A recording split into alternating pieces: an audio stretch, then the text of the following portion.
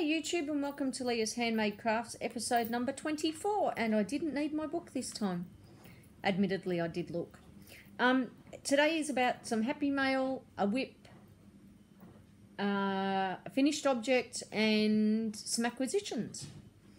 So to start with I'll start with the whip and the whip, well other than my um, shawls I decided I needed something quick and easy so using the Caron cupcakes, I'm making myself a granny beanie.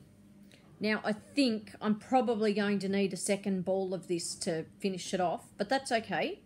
It's a start, and I do have another ball of this coming. I'm just not sure when it's going to arrive, but this is the beanie so far. So I'm pretty happy with that. Love the colours. Uh, the colorway is, bear with me, the colorway is Candy Buttons. So that's on its way. My finished object is a tea towel topper. Now, I really love this and I love the colours. The only problem is I used four ply or fingering weight as opposed to a worsted weight. And so it's a lot lighter and not quite as sturdy as I see it sort of it pulls so but that's okay. It does the job. It hangs the tea towel which is what I want. And I really love the color combination. So that's um, using the Lincraft 4 ply in the colorway purple purple um, and so that's that. Next time I will use a, an 8 ply as opposed to a 4 ply, but I was in a bit of a hurry and anyway. On to acquisitions. I collect, and I collect them for a reason. I've got a few patterns in mind, but whenever I see these discounted and cheap, I buy them. So normally these would sell at um, 12 to $15 a ball. I got them for $5. So two of the jeans in the colorway brand new. So two of those, $5 each. Bargain.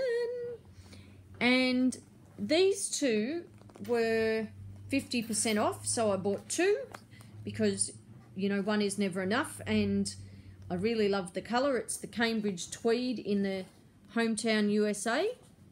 So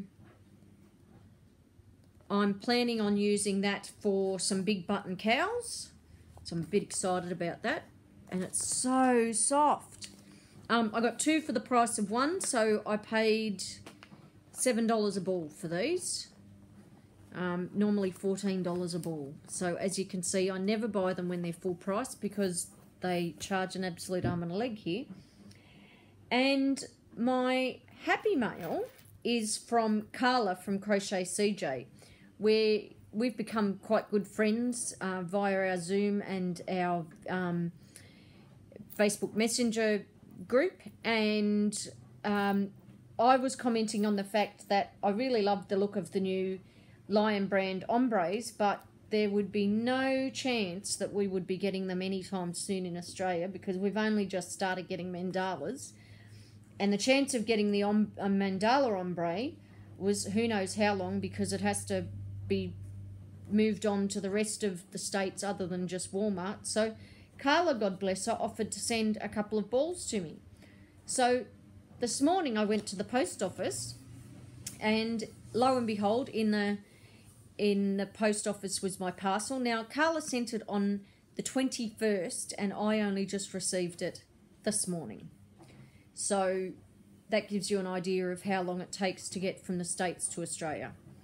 So anyway, our postal service is very slow over here. It's been in the, in the country for five days before I received it.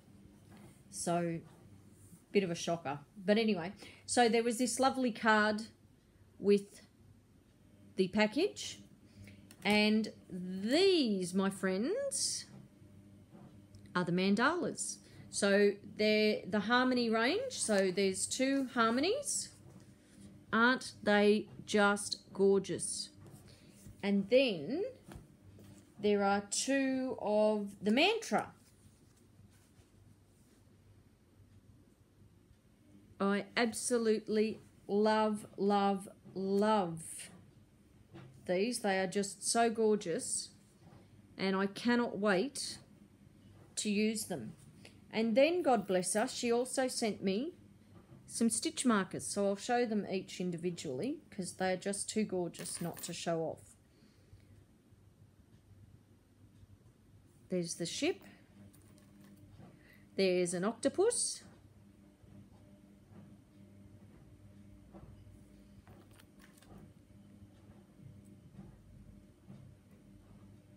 There's an anchor. There's a ship's wheel.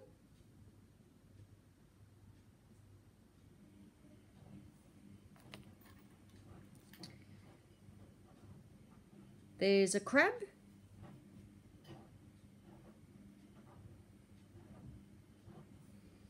And last but not least, there is a beautiful turtle.